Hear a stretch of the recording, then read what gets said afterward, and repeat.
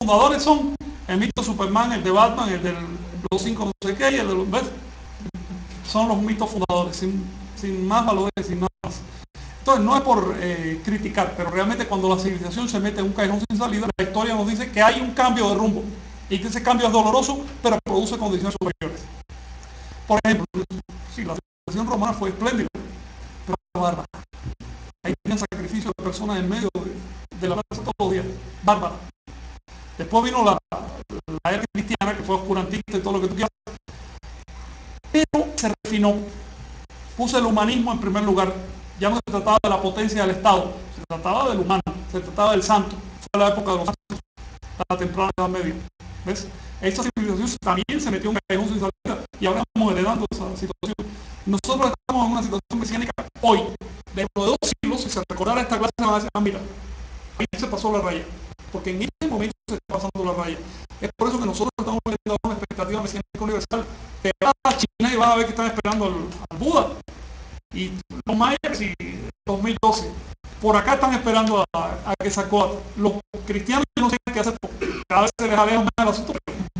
Si se les acaba esa doctrina del retorno, se acaba el Estamos viviendo una histeria El último que yo conozco ya de día fue el retorno del Mesías para el 30 de junio pasado.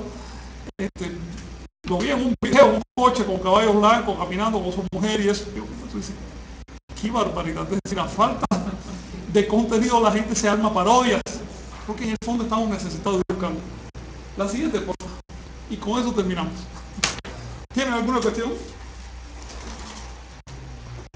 Fíjense que el tema propiamente no es religioso, sino sociológico.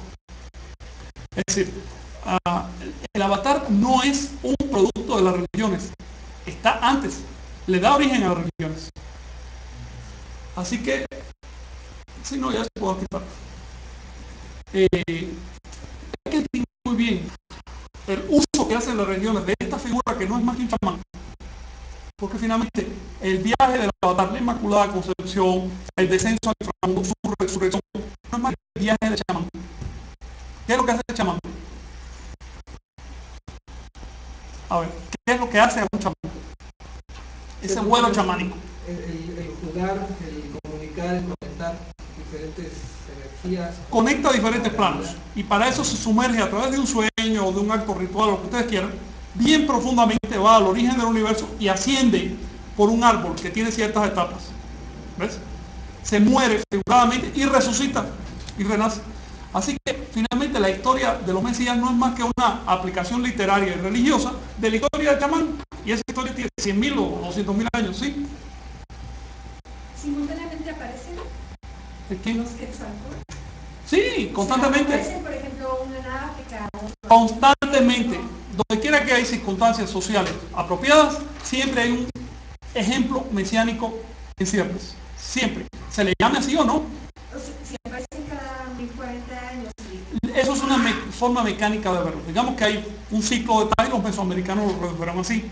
Eso no significa que sea literal ni, ni rígido. ¿Ves? Estamos hablando de donde quiera que hay circunstancias sociales, hay una manifestación mesiánica, es una cosa normal, no necesitamos un Dios para que ocurra eso, solo necesitamos seres humanos. Este, ¿Sí? El avatar en cuanto a personaje social. Es que es, una, es redundante. A ver, sí. El, avatar es producto de la religión. A ver, habla de la palabra avatar. Avatar, es una palabra de una, de una lengua. Esa lengua no es producto de la religión, es producto de un pueblo. Que una religión la haya aprovechado es muy diferente. Es que, ¿quién hace la religión? Sí, está bien. El mismo que hace los edificios, y el mismo que hace los caminos, y el mismo que hace los puentes, el pueblo. Ahora. No, el pueblo no. Claro, sin devotos no hay religión. pero el pueblo nutre. Pero nutre las religiones. Vean los templos y vas a ver. Si la gente no va a los templos, al otro día no, no es religión. No, claro. ¿Qué es lo que hacen los sacerdotes?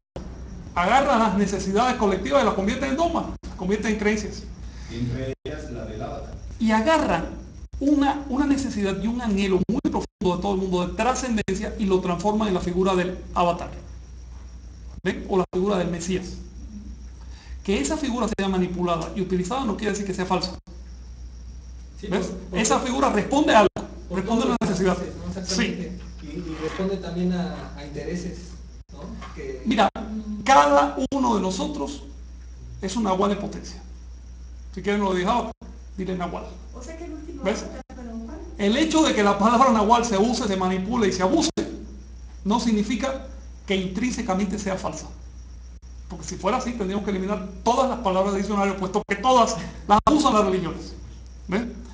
Este, dígame alguna cultura que no se basa en una figura mesiánica. Al margen de si existe literalmente o no. Que una cosa no sea literal no quiere decir que sea, que sea falsa, automáticamente. No hay una sola gran cultura que no se base en una figura mesiánica. Esa figura mesiánica le da núcleo. ¿Qué pasa si eliminas esa figura? Se acaba toda una tradición. Se acaba el modelo, se acaba el ejemplo, se acaba el impulso, se acaba el, se acaba el que te da una pauta, se acaba el modelo. Entonces se acaba el camino, se acaba el vehículo de trascendencia.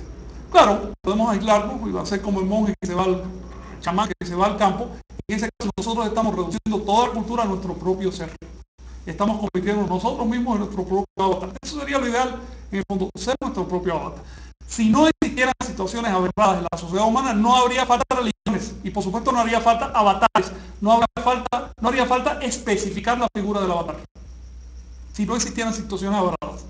Así que en un panorama social que está distorsionado, porque somos producto de una lucha entre tendencias animales y tendencias civilizatorias. Así que esa lucha no desgarra. Pues en ese panorama sí es necesario este, la codificación de las ideas. Si no existiera la religión en el mundo, quiero ser un poco más, más osado, si no existiera la religión, no habría habido civilización. Así de sencillo. Al margen de todo lo, de todo lo malo. Por ejemplo, en Anáhuac hubo una religión que le costó a la gente muchos años de presupuesto y mucho esfuerzo físico y muchos bosques talados. Y los recursos necesarios para comer, para construir templos. Pero además templos macizos y piramidales, para que quedara claro que era un acto innecesario.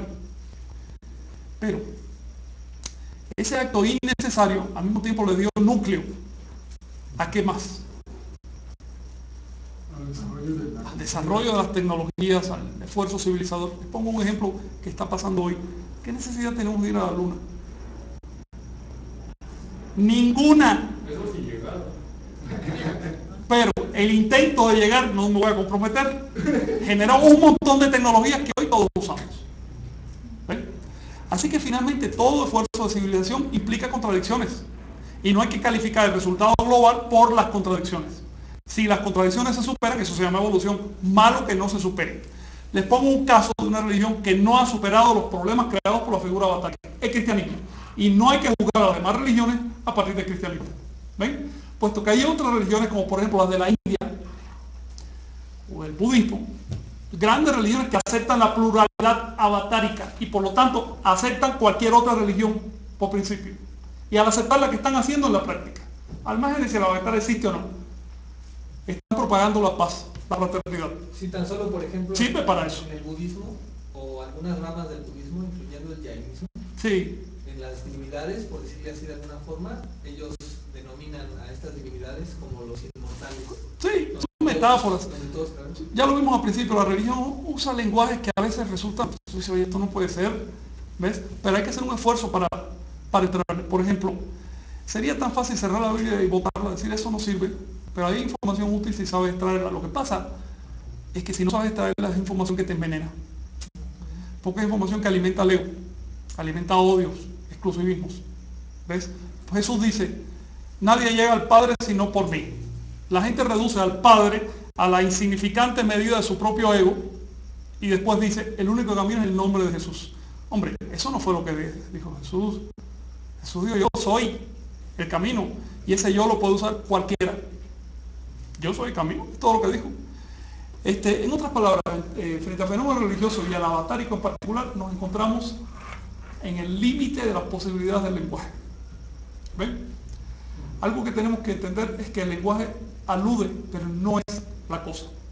Por supuesto, no necesitamos un modelo como el de Jesús para impulsarnos. Pero si aún con ese modelo casi nadie lo intenta. ¿Ven? Casi nadie lo intenta. Cualquiera que ensueña camina sobre el agua. Volviendo a ese ejemplo. Los que hemos enseñado sabemos lo que es caminar sobre el agua.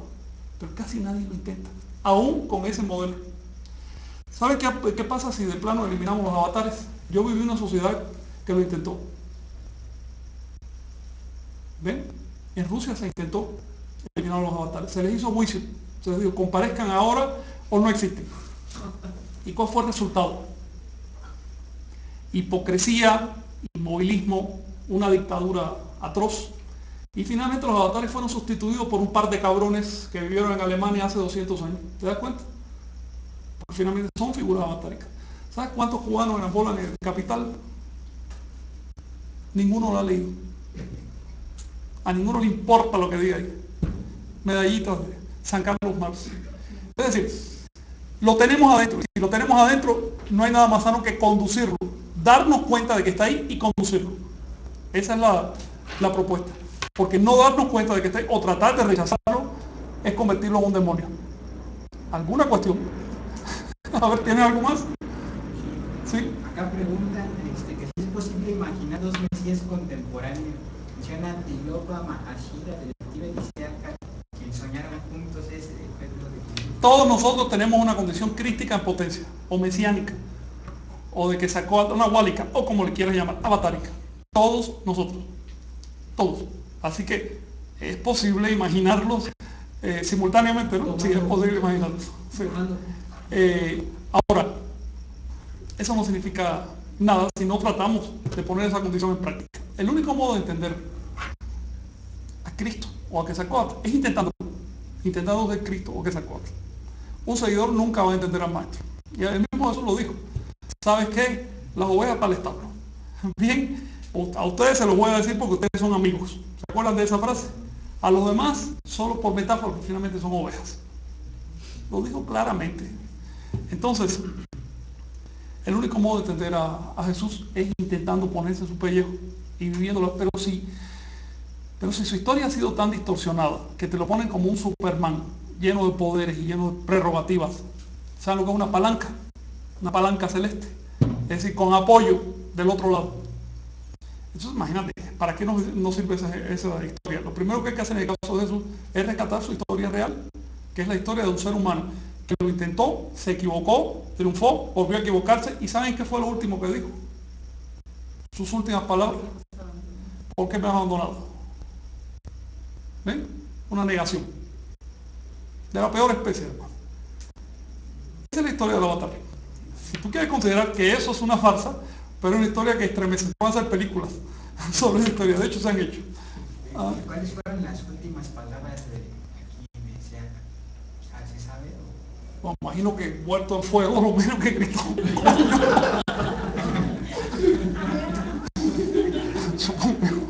Entonces, ahora su mensaje, este, eh, yo voy a regresar. Cuando sea necesario regreso, eso fue lo que dijo. Pero no pierdan de vista que puede que no regrese, entonces tiene que intentarlo con tu cuerpo. Más o menos fue lo que trató de, de dejar en claro. ¿Alguna cuestión más? A ver, Arturo, ¿tienes algo que comentar? ¿No? ¿Seguro? Fíjense que este tema es escabroso. Les insisto que yo no quiero enfocarlo desde el punto de vista religioso, sino estrictamente eh, sociológico y antropológico. ¿Sí? En ese sentido, tendríamos que ubicar a los avatares dentro de un sistema ideológico. En este caso, sí. del Tecayot y todas las demás están al servicio del poder. Cualquier eh, organización de ideas es como de una mafia ideológica está al servicio poder. Y ahora, que eso sea así, no significa que no merezca estudio. Al contrario, merece estudio. Al margen de si hay o no un poder por detrás de los avatares, o es solo imaginación, hay algo que, que es un hecho. Existe el fenómeno y merece estudio. Y en segundo lugar, existe el esfuerzo, existe el intento. Si este intento realmente va a llegar a algo o no,